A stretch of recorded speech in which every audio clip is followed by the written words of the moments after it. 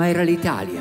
l'Italia nuda e formicolante, coi suoi ragazzi, le sue donne, i suoi odori di gelsomini e povere minestre, i tramonti sui campi dell'Aniene, i mucchi di spazzature e quanto a me i miei sogni integri di poesia.